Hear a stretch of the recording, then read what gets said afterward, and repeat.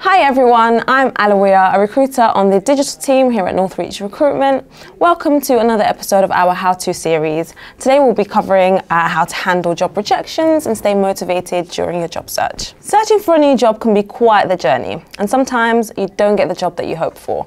But it's important to handle these situations the right way here are six steps on how to handle job rejections. It's natural to feel disappointed when you don't get the job that you'd hoped for, but it's crucial to bounce back and remain positive and have a positive mindset during this time. Job rejection is not a reflection of your worth. However, it can just mean that the market is very competitive at the time, um, and it's just important to take some time to find the right fit for yourself.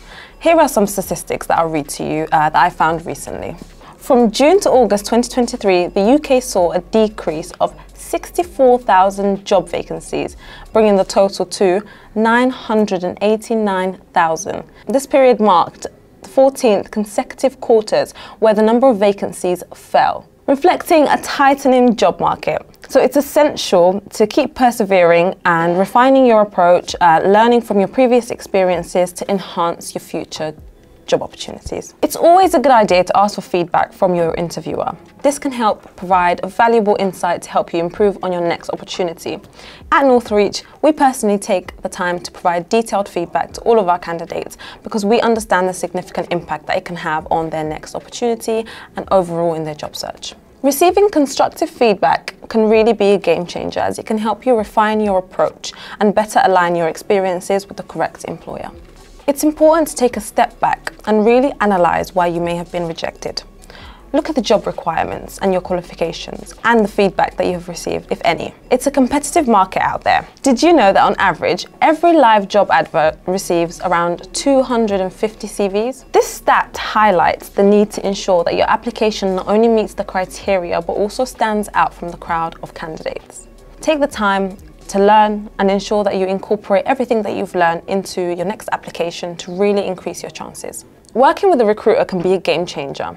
They can help you polish your CV and uncover new opportunities faster, which is crucial in the job market, where 75% of CVs are rejected by ATS softwares before they even meet the human eye. Here at Northreach, we understand the importance of matching the right candidates to the right roles. While our primary goal is to support you in your job search journey, we also provide personalised advice uh, and help you improve your marketability and overcome challenges that can be posed by job rejections. Additionally, recruiters often have access to exclusive job openings and offer additional support like career counselling and interview preparations to really enhance your chances of landing your dream job.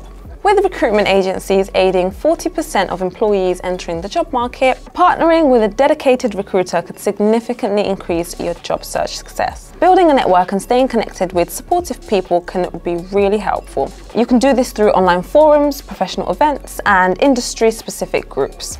Your connections may also be able to lead you to job referrals. Maintain an active presence on professional social platforms such as LinkedIn and continue sharing your insight and engage in discussions. By making your voice heard and showcasing your expertise, you never know who might come across your profile.